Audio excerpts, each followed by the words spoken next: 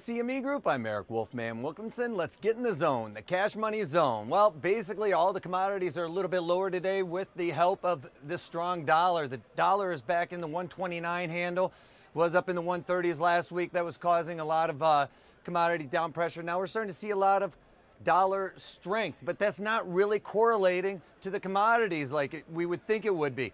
Part of the problem is, is we've had in the commodities of the grain room, let's say, We've had record open interest on the long side of this soybean corn all the way through these rallies when the corn was up in an 849 area. Soybeans were about a buck 50 higher than they are now. All of that long open interest has really sent that market higher back.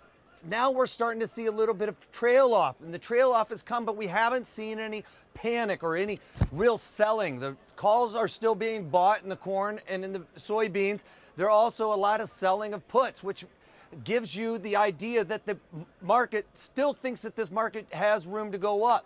But one of the worst things that can happen when everybody is one way is the, the long start getting out and the market starts falling off. We haven't gotten any news or media talking about this. It's just there. And that's one of the worst things that can happen in a trending commodity and or uh, uh, an equity for that matter is when the market is trailing off despite the fact that the fundamentals say that this market goes up. If there's no media, no talk about it, the market really just kind of slowly starts trickling down and uh, falling off. And that's what we're starting to see now. If this corn market goes much below the 740 area, which is what I've been talking about for a while, 739 should be a major support. We've got a lot of put action going on at the $7 mark.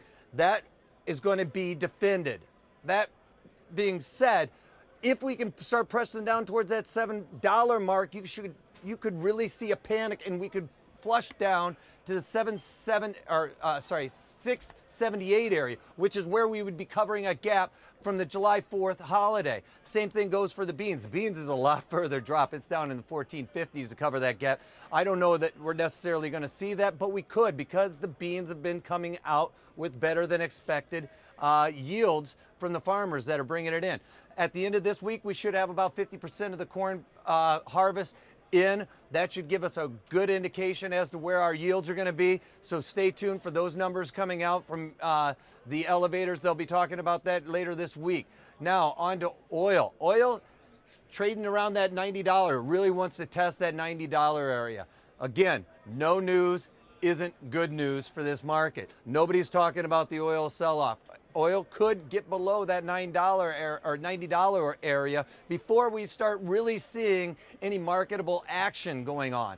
Now, you know the volumes are still light. Today is a monday so be quick be nimble. In the s&ps we got them trading down below the 1450 area. That 1455 is a key pivot. Anything above that bulls have gotten control. Anything below that the bears are in control. Right now there's a lot of expectation that this market's going to move higher due to the QE infinity.